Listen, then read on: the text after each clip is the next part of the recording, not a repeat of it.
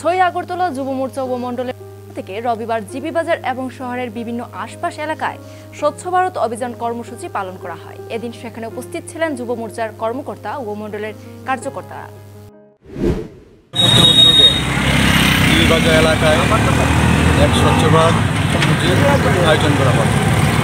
তো সেই কমিটির মূল উদ্দেশ্য হলো যে আমাদের মুখ্যমন্ত্রী এবং আমাদের ভারতের প্রধানমন্ত্রী যে ডাক দিয়েছেন এক ভারত শ্রেষ্ঠ ভারত, একটি প্রতিষ্ঠ এবং স্বচ্ছ করা স্বচ্ছ ভারত, সেটাকে পাশেই করে আজকে আমাদের কর্মসূচি তো আজকে কর্মসূচির মধ্যে উপস্থিত ছিলেন সদর শহর জেলা সহসভাপতি সদ্য সুকান্ত ঘোষ মহাশয়, উপস্থিত ছিলেন সদর শহর জেলা যুব মোর্চার সাধারণ সম্পাদক জয়পুর ধানু উপস্থিত ছিলেন এই ওয়ার্ডের কাউন্সিলর শ্রীমতী ছয়া ধানু এবং উপস্থিত আছেন ছয়াগত যুব মোর্চার সাধারণ সম্পাদক সম্পাদক সহসভাপতি অন্যান্য কার্য যুব মোর্চা কার্যকর্তা তো আমি আপনাদের মাধ্যমে একটা কথা বলব, এই এলাকার প্রত্যেকটা ব্যবসায়ী বৃন্দকে এবং নাগরিককে যে পৌরসভা থেকে যে ডাস্টবিনগুলি দেওয়া হয়, সেই ডাস্টবিনগুলি যাতে বাড়ির যে আবর্জনাগুলো সেই ডাস্টবিনে ফেলা হয়। কারণ আমরা আশেপাশে দেখতে পাচ্ছি প্রচুর চায়ের কাপ, বিস্কিটের প্যাকেট প্রচুর পড়া আছে। আমি এখানে যে কাউন্সিলের মধ্যে আছে ওনাকে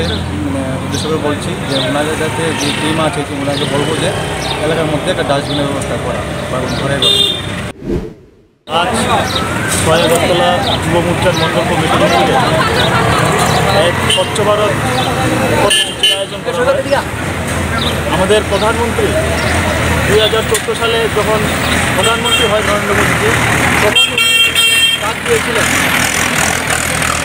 ক্লিন ইন্ডিয়া গ্রিন ইন্ডিয়া তো তাই- ওনার এই কথাকে আমাদের লক্ষ্য রেখে আজ আমরা ছয় আগরতলা যুব মোর্চার মন্ডল কমিটি উদ্যোগে জিবি বাজার এলাকায় আমরা স্বচ্ছ ভারত অভিযান করি এবং আমি এই এলাকার সকল নাগরিককে এবং ব্যবসায়ীবৃন্দর কাছে অনুরোধ করব আপনাদের মাধ্যমে যে আমরা সবাই যেন ত্রিপুরাকে এবং এলাকাকে সুন্দর একটা পরিবেশ বজায় রাখতে পারি।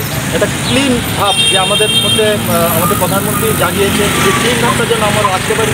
কারণ স্বচ্ছতাই হচ্ছে আমাদের জীবনের একটা বড় একটা অংশ। স্বচ্ছতা থাকলেই এবং আমাদের রোগ সুখ যা আছে, আমরা দূর করতে পারব। স্বচ্ছতাই আমাদের প্রধান লক্ষ্য থাকতে হবে। তাই এই আমরা এই স্বচ্ছতাকে লক্ষ্য করে প্রধানমন্ত্রীর এই কথাকে লক্ষ্য করে আজ আমরা ছয় আগরতলা মন্ডল কমিটির, দু মোর্চার মন্ডল কমিটির উদ্যোগে এই এলাকায় স্বচ্ছ ভারত অভিযান করি এবং আমাদের এই অভিযান, প্রত্যেকটা এলাকায় এবং প্রত্যেকটা বিধানসভায়, ছয় আগরতলার প্রত্যেকটা এলাকায়, প্রত্যেকটা বিধানসভায় জারি থাকবে আগামী দিন। তাই এই কর্মসূচিকে আমরা এই এলাকায় আমরা আগামী দিনে আরও বৃহৎভাবে নিয়ে যাব। এইটাই আমাদের আজকে। নাম? আমার নাম রাকেশ পাল ছয় আগরতলা দু হাজার সাতান্ন